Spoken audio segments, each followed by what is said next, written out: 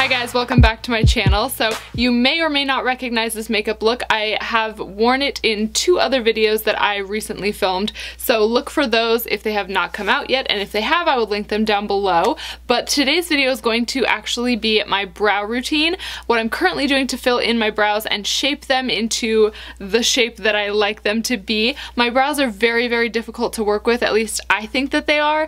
Most people whose makeup I do for like weddings and just clients when I'm working for Makeup Forever or freelancing or whatever are so much easier to do than my own brows because mine are, you'll see, you'll see in a second. They're just, so I hope that you guys can take some tips and ideas from this video and apply it to your own brow routine because I have a lot of experience in like really working with my brow shape. God didn't give me a very good brow shape or maybe he did and I kind of like overplucked and ruined it throughout the years. Anyway, if you guys want to see how I do my brows on a day-to-day -day basis, then keep watching. So I start off with taking a spoolie brush like this.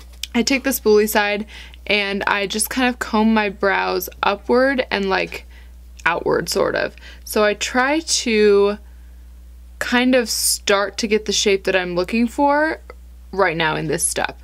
And my right brow, which is this one, is like you know, this is the good child and this is the bad child. This brow is my nemesis. It is just awful. It's, oh, it's so bad. So uncooperative. This one is a lot better. It's not great by any means, but what I recommend doing typically is to take the brow that is closest to being what you're going for, work on that one first, and then try to take the other one and match it to that one as best you can, if that makes sense. Because if you take your horrible brow and try to shape it into something that you're imagining, it's going to be harder than taking something that's already close to what you're imagining and shaping it from there and then mimicking on the other side. Sometimes I like brows that are a little more hairy looking rather than like block-ish. So I'm going to take this Anastasia Dip Brow. This is in the shade Dark Brown and dark brown seems really dark for my complexion but as you can see the hairs are almost black so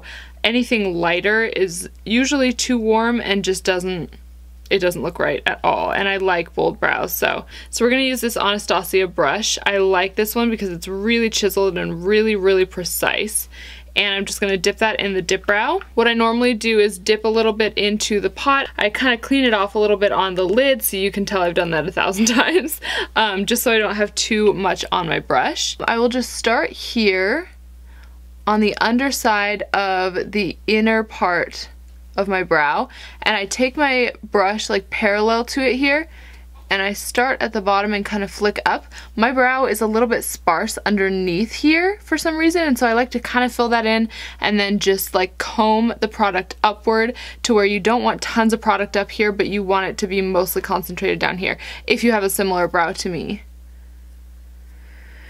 or a similar situation with yours. So you can see that my brow naturally comes in to about the inner corner of my eye. Um, so mimicking that on this side is a little bit tricky, but I'll show you kind of how I navigate that. And the spoolie helps too if you're kind of combing that product upward on your skin. Um, it helps to make it look like hairs too because the little bristles on the brush will kind of grab it and sweep it upward and it creates a little bit of space in between and it just makes it look a little bit more like hair which I like. You can see how it still looks hairy but it's also a little bit more um, bold than it is naturally. So that is what we're going for. And then I will just continue working on the underside here. I like it to be nice and kind of angled upward like this. Right up toward the peak of my arch. And then I will bring it down again. And you can kind of see how the shape is starting from the bottom. And then it's much easier once you've done the bottom um, and define the shape there to just kind of round out the top and smooth it and fill in areas that don't quite make sense the way that they are. So see we've got that nice straight edge and then the arch here. So then what I will do is I will take my brush again and I'll start here kind of at the corner of the arch and I start to carve out that corner and bring it down to meet the tail that we created. And then I kind of just continue the trajectory of that corner, that arch that you've created, and make sure that it comes and it kind of ends up seamless with this top edge here. So see how got this kind of dip? Really that's because this brow is actually lower on my brow bone than this one is naturally. So this one sits up higher and it appears more arched, whereas this one sits lower and it appears more dipped. It drives me absolutely insane, but that is my reality. And so I just kind of deal with it as best I can with makeup. So I just go through and fill in that area there until it looks straight.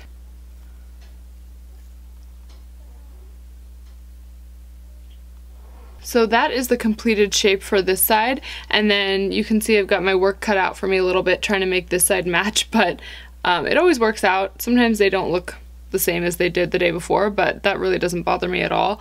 Um, I like the look of you know, going for something a little bit more natural. Like see how here it's not perfectly carved out. It's a little bit more hairy looking, if that makes sense. So I don't necessarily always go through with concealer and clean up the edges and box it out and make it super crisp. So on the other side, let's talk about the shape here really quick. So I have a pretty terrible shape.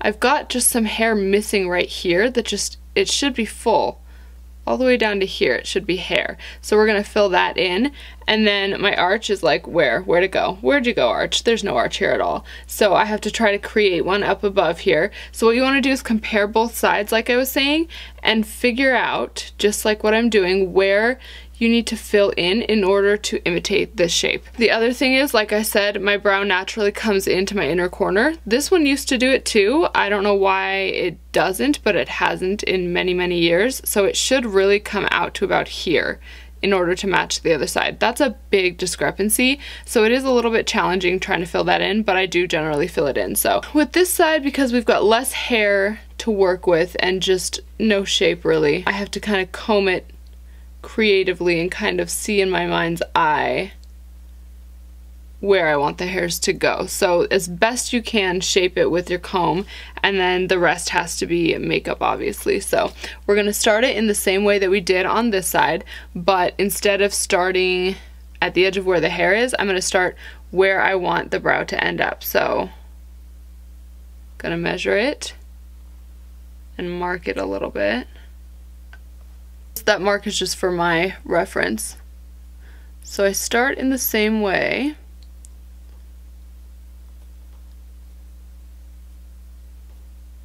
Parallel to the brow shape and combing up. So see, we're starting to get that same shape that we've got on the other side. It looks a little crazy right now, but just, just hold on.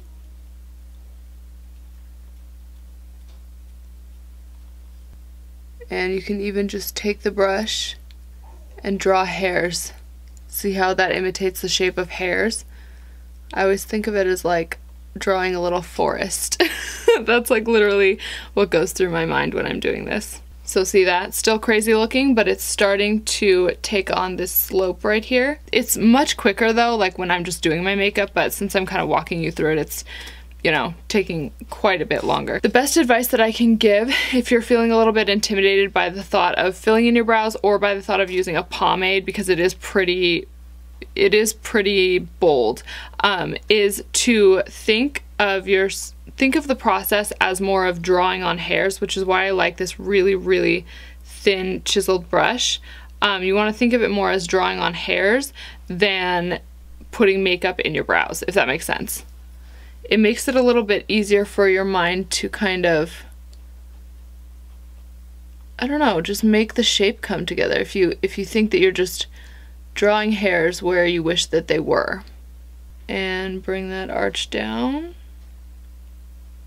Or the tail, I guess. So see that? It's really, really starting to look so much better.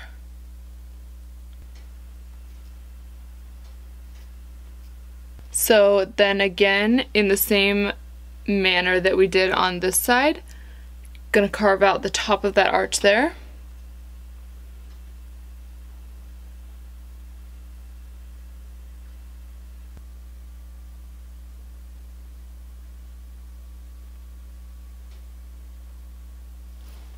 Now, if you use something other than the dip brow or a cream pomade situation, if you use like a powder, for example, you can do exactly the same thing that I'm doing and you'll use a very similar brush or maybe even the same type of brush and apply the powder in exactly the same way. The pencil is going to be slightly different just because the lines that it gives are they're totally different than a brush. Um, I've used pencil before and I just prefer the brush because I just feel like I have more control um, and it's more precise so I can really draw those hairs. And that's the only way you're going to get something that looks natural considering how much I'm doing to the shape of my brows. So that is it for the shape. Um, after that I go in with this clear brow gel. This one is by Anastasia and I just kind of comb the hairs into the exact place that I want them. I like how you can see a little bit through the hairs so that's kind of how I like to keep them looking. So I just comb everything into place here and it stays really, really well. Okay, I've been trying to film this outro, but the wind outside is so loud. Oh my gosh. So if you guys hear it, I apologize. It's quiet right now. Let's go. Let's do this quick. So thank you guys so much for watching my brow routine. I hope that you guys found it helpful. And if you have any questions or anything, leave it down below. I'd love to hear from you guys and hear what you think. Or if you have any tips for how you do your own brows, I'd love to hear those as well. So if you have not subscribed to my channel, I'd love to have you subscribe and join the family. I have the best viewers on the internet and I will see you in my next video. Bye!